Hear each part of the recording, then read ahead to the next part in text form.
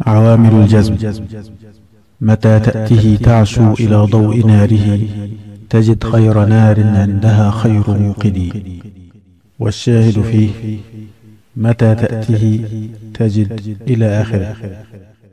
حيث جزم بمتى فعلين وهما قوله تأته وهو فعل الشرط والثاني قوله تجد وهو جواب الشرط وجزاؤه. أيان نؤمنك تأمن غيرنا وإذا لم تدرك الأمن منا لم تزل حذرا. والشاهد فيه أيان نؤمنك تأمن حيث جزم بأيان فعلين أحدهما فعل الشرط وهو قوله نؤمنك والثاني جوابه وجزاؤه وهو قوله تأمن.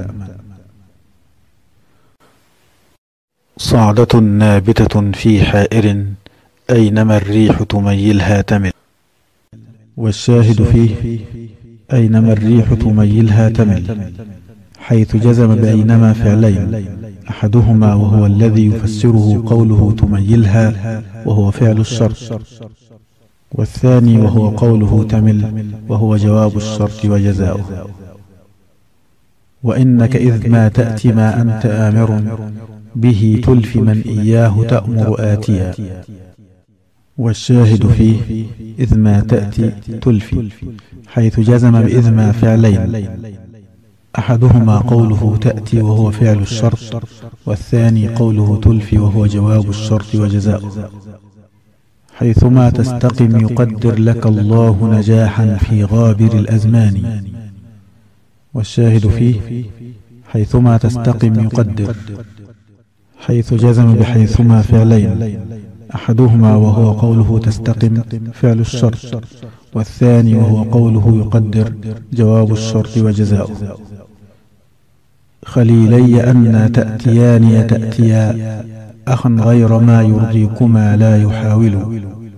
والشاهد فيه أن تأتيان تأتيا حيث جزم بأن فعلين أحدهما وهو تأتيان فعل الشرط والثاني وهو قوله تأتيا جواب الشرط وجزاؤه. من يكدني بسيء كنت منه كالشجا بين حلقه والوريد.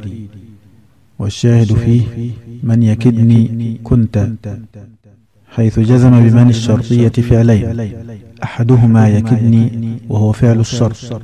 والثاني كنت وهو جواب الشرط وجزاؤه. وأولهما فعل مضارع وثانيهما فعل ماض. وإن أتاه خليل يوم مسألة يقول لا غائب مالي ولا حرم. والشاهد فيه يقول حيث جاء جواب الشرط مضارعا مرفوعا. وفعل الشرط ماضيا وهو قوله أتاه. وذلك على إضمار الفاء عند الكوفيين والمبرد أي إن أتاه فيقول إلى آخره.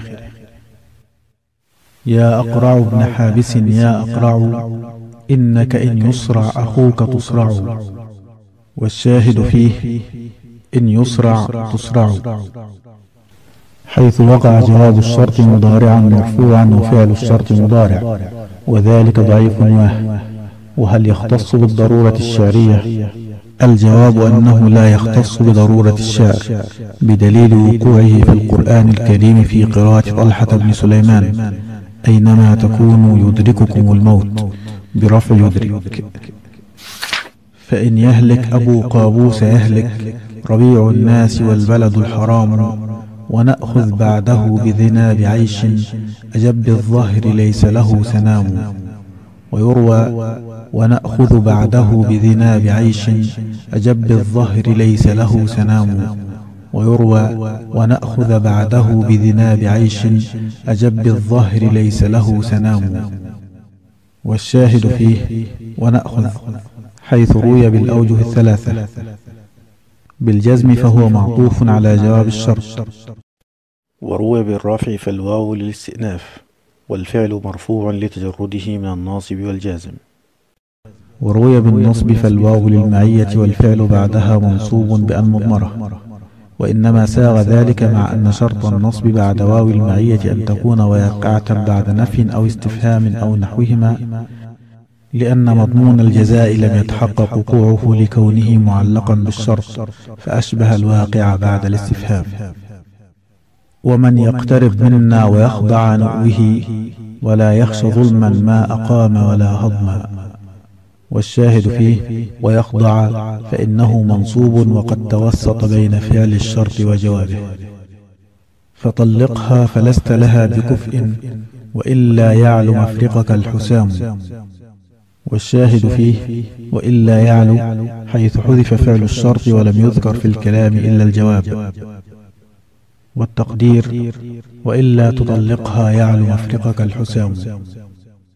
لئن منيت بنا عن غب معركة لا تلفنا عن دماء القوم ننتفل والشاهد فيه لا تلفنا حيث أوقعه جواب الشرط مع تقدم القسم عليه وحذف جواب القسم لدلالة جواب الشرط عليه. ولو أنه أوقعه جوابا للقسم لجاء به مرفوعا لا مجزوما.